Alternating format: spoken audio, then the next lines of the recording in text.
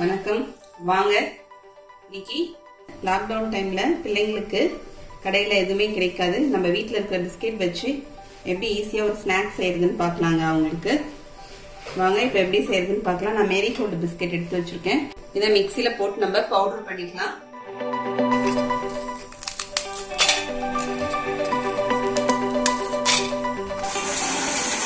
ரெண்டு packet biscuit போட்டு நான் அரைச்சிட்டேங்க. நல்லா பவுடரா அரைச்சிக்கலாம். முக்கால் கப் அளவுக்கு சர்க்கரை எடுத்து வச்சிருக்கேங்க. இதையும் பவுடரா அரைச்சிக்கலாம் நம்ம. ஒன்னே முக்கால் கப் பிஸ்கெட் பவுடர்னா முக்கால் கப்பு சர்க்கரை எடுத்திருக்கேன். அதை பொடி பண்ணி இதில் போட்டுக்கலாம். நம்ம ஆப்பத்துக்கெல்லாம் யூஸ் பண்ணுவோம்லங்க. பேக்கிங் சோடா அது ஒரு கால் ஸ்பூன் அளவுக்கு நம்ம சேர்த்துக்கலாம். காஃபி தூளுங்க. இன்ஸ்டன்ட் காஃபி பவுடர் இது. இது ஒரு ஒரு ஒன்றரை ஸ்பூன் அளவுக்கு இந்த ஸ்பூன் ஒரு ஒன்றரை ஸ்பூன் சேர்த்துக்கலாம்.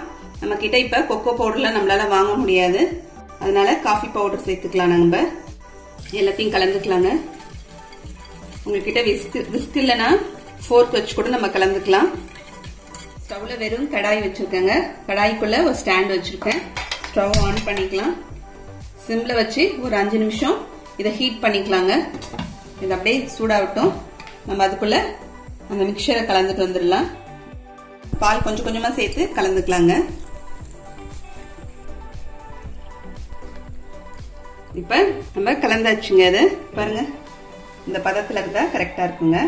நம்ம எந்த பாத்திரத்துல மாவு ஊத்த போறோமோ அந்த பாத்திரத்துக்கு எண்ணெய் தடவி வச்சுக்கலாங்க. சுத்தி எண்ணெய் கிரீஸ் பண்ணி அப்படியே வச்சுக்கலாம். அதுல எண்ணெயை கிரீஸ் பண்ணிட்டு கொஞ்சமா மைதா மாவு சேர்த்துக்கலாங்க. நீங்க பட்டர் பேப்பர் இருந்துச்சுன்னா பட்டர் பேப்பர் யூஸ் பண்ணிக்கிங்க. இப்ப இதுல ஊத்திடலாம் நம்ம.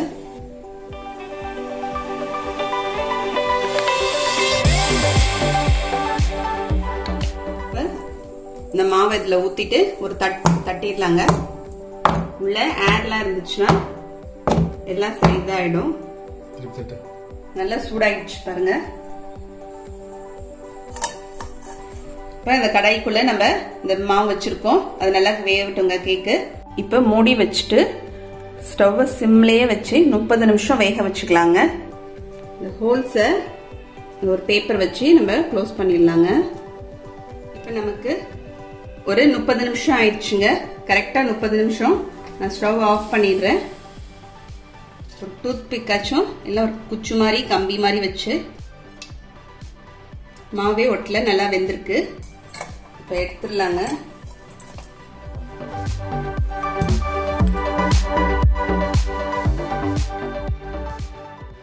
கேக் எடுத்துடலாங்க.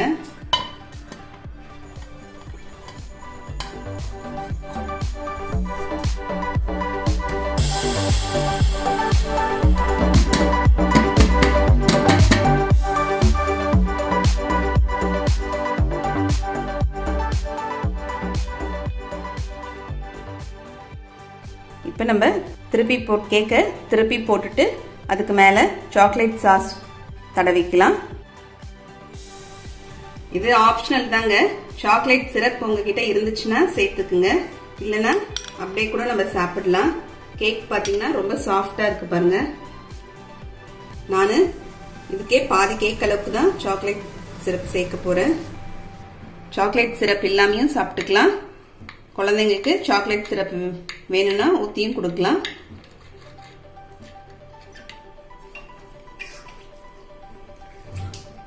எவ்வளோ சாஃப்டாக இருக்கு பாருங்க கேக்கு நல்லா பிஸ்கெட்ல மேரிகோல்டு பிஸ்கெட்ல நம்ம பண்ணது நல்லா சூப்பராக சாஃப்டாக வந்திருக்கு நல்லா.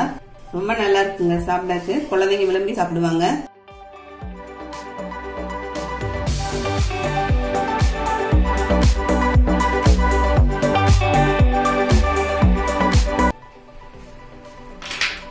சூப்பரா இருக்குமா? நல்லா டேஸ்டா இருக்கு. நீங்களும் இந்த மாதிரி செஞ்சு பாருங்க. செஞ்சு பார்த்துட்டு எப்படின்னு கமெண்ட் பண்ணுங்க. இந்த வீடியோ பிடிச்சிருந்தா லைக் பண்ணுங்க. உங்க ஃப்ரெண்ட்ஸ்க்கும் ரிலேட்டிவ்ஸ்க்கும் ஷேர் பண்ணுங்க. மறக்காம சப்ஸ்கிரைப் பண்ணுங்க. கூடவே பக்கத்தில் இருக்க பெல் பட்டனையும் ப்ரெஸ் பண்ணுங்க. அடுத்த வீடியோல பார்க்கலாம். தேங்க்யூ